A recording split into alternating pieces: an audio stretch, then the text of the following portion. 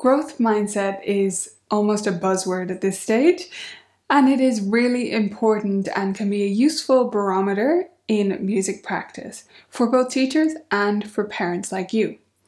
So, growth mindset, if you're not familiar, is the idea that you can get better at things. We all have growth mindsets and fixed mindsets about different things in our lives. There are some things that we believe naturally that I could get better if I tried, and we're more likely to try and get better.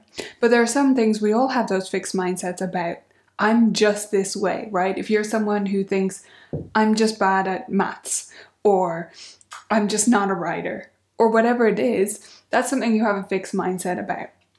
Now, in music, this comes up as I'm not musical, which is my least favorite phrase in the world, probably, because it goes back to this idea of natural talent in music.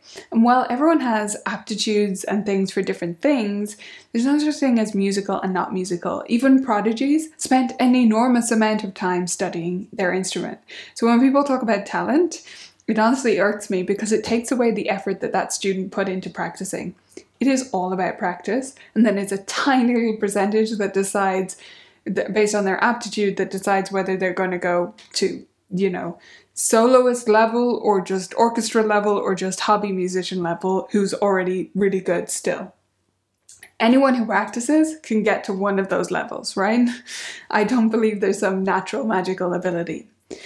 So, having said that, growth mindset is really important for music students and for their studies in general for kids growing up, that they believe that they can get better if they put work in.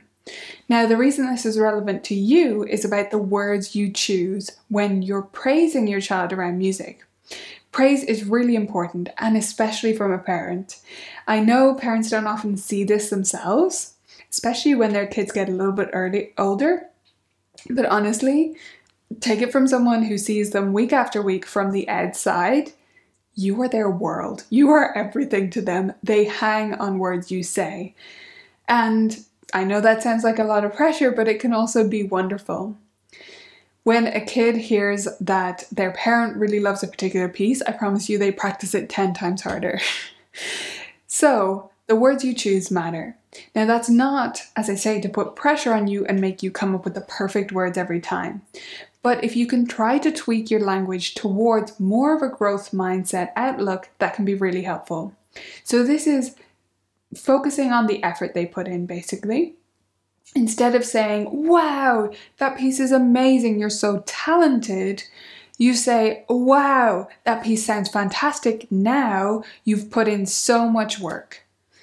Or you must be so proud of yourself because I know that was really hard to learn, but you've got it. So it's about focusing on the effort they put in that took them to where they are now, or the effort that they're putting in right now. If they're struggling with something, you can still praise them for going through the struggle. Wow, you played that 10 times, and I know it's not quite there yet, but you're really working hard at it and you will get there.